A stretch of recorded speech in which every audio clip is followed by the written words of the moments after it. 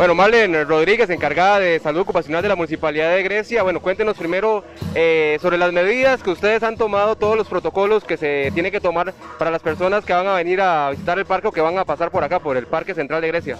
Sí, muchas gracias Rodolfo. Bueno, empezamos con que nosotros instalamos cuatro piletas en las cuatro esquinas del parque, todas este, están aseadas por los compañeros y con su jabón se está rotulando todo el parque con todas las medidas este, que ha indicado el Ministerio de Salud.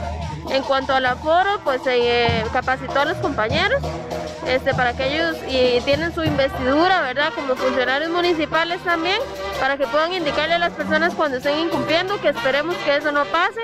También se habló con la fuerza pública, ellos van a estar haciendo un monitoreo constante por medio de las cámaras y van a tener efectivos también a cada vez en cuando, sobre todo el fin de semana que nosotros pues no hay funcionarios ¿verdad? dentro del parque.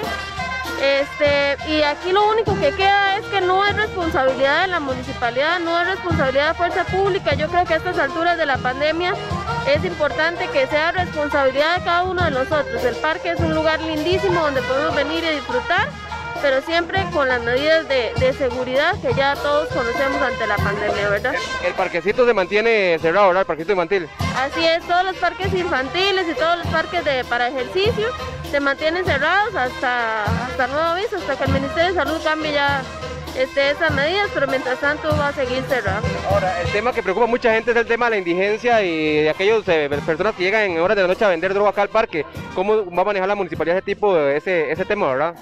Sí, eso ya se habló con Fuerza Pública, se va a trabajar de, con ellos, ¿verdad? Ellos nos van a estar ayudando, también el personal de nosotros está instruido para que nos, por medio de la alcaldía, ¿verdad? Pueda llamar a Fuerza Pública en el, momento que sea requerido.